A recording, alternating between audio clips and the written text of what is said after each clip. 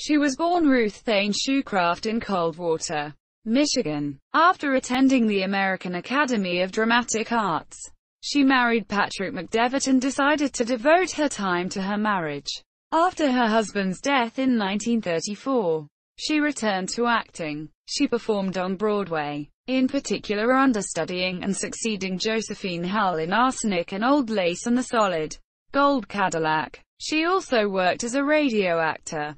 McDevitt was a familiar face on television during the 1950s, 1960s, and 1970s. She played Mom Peepers in the 1950s sitcom Mr. Peepers.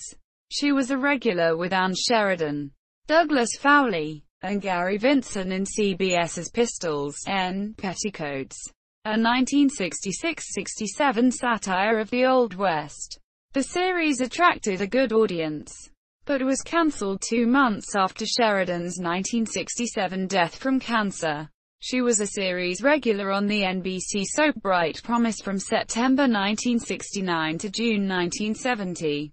McDevitt also had a regular role as Emily Cowles on Kolchak, The Night Stalker, starring Darren McGavin. McDevitt guest-starred in such series as Suspense, Cosmopolitan Theater, Decoy, The United States Steel Hour, Westinghouse Studio One, The Alfred Hitchcock Hour, the Andy Griffith Show, The Debbie Reynolds Show, The Ghost and Mrs.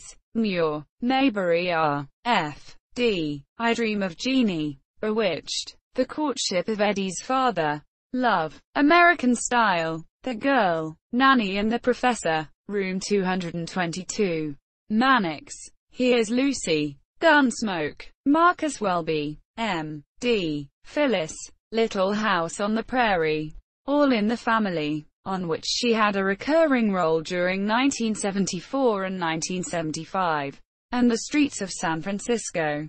Naked City. Her film debut was in The Guy Who Came Back, 1951, followed by memorable roles in The Parent Trap, as camp counselor Miss Inch, Alfred Hitchcock's The Birds, as Mrs. Magruder, The Pet Store Sales Lady, Boys Night Out, Dear Heart, the Shakiest Gun in the West, Angel in My Pocket, The Love God, Change of Habit, The War Between Men and Women, and Mixed Company.